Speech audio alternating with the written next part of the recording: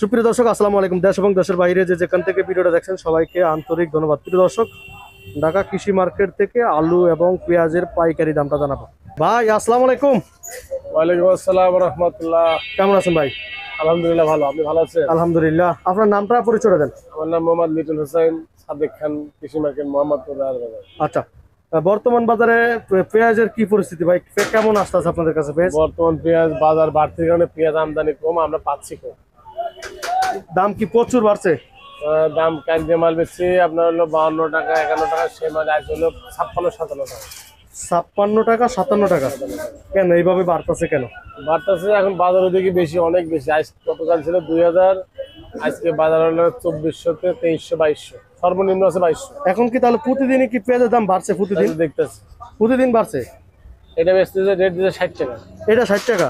এটা ষাট টাকা একদম ষাট টাকা। এটার দাম আবার বাড়তি এটার দাম আবার বাড়তি কেন ভাই? এটা পেঁয়াজের দাম? এটা বাছাই করা মাল তো এটা বড় মাল। বড় সাইজের মাল এটা ভালো মাল কোয়ালিটি মাল এই জন্য এটা ষাট টাকা এটা কোন জায়গার পেঁয়াজ ভাই? এটা যদি আমরা বলি। এটা হলো আপনার পাংশা রাজবাড়ি। পাংশা রাজবাড়ি। একদম কত পারবেন এটা একদম ষাট টাকা কম নেই একদম? একদম ষাট। মাই গড এত দাম পেঁয়াজের।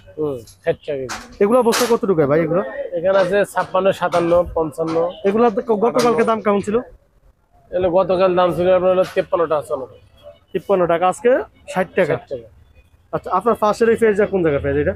ওইটা একটা একই মাল। একই একই দাম? এই দুটো একই মাল কোয়ালিটি আর এই যে ভাই বইয়ের এসে এগুলোর দাম কেমন ছিল?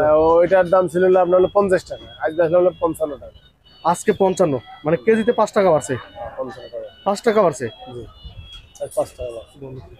আর এই পাশে এই পাশের এটা কোন জায়গা ভাই? এটা কাল বেচছিলাম হলো আপনার হলো বাউন্ন টাকা আজ বেচেছে ছাপ্পান্ন টাকা। আজকে বিক্রি করছিলেন ছাপ্পান্ন কালকে বাহান্ন আজকে ছাপ্পান্ন আজকে আরও ষাট টাকা বাড়ছে। বাস এমনি কৃষকের কাছে পেঁয়াজ কেমন আছে যদি আমাদেরকে একটু বলতেন? কৃষকের কাছে পেঁয়াজ তো আছে এখন তারপরে বাজার বাড়তি বা পেঁয়াজের আমদানি তেমন নাই বাজারে প্রচুর বাড়তি প্লাস হলো কি আপনার চিটাগাং সিলেট এদিকে বাজার অনেক বাড়তি এদিকে মাল টানতেছে খুব আমরা মাল কম পাচ্ছি। আচ্ছা। চিটাগাং অনেক মাল টানতেছে আর আলুর বাজারটা কি পরিস্থিতি ভাই? আলুর বাজার সাতাশ আঠাশ সাদা আলু রাজশাহীটা আঠাশ টাকা এটা কত? আর লালটা সাদা এটা রাজশাহী আঠাশ টাকা। এটার দাম আর বেশি কেন? রাজশাহীর মাল তো রাজশাহী কলেস্ট্রল মাল খুব ভালো মাল। আর এইটা? ওটা জয়পুরহাট সাতাশ টাকা। সাতাশ টাকা। আলুর আলুর দামটা কি কমবে না? আলুর বাজার তো একই রকম আছে। কমার সম্ভাবনা নাই? এরকম। না কমার কমার নেই একই রকম বাজার আছে।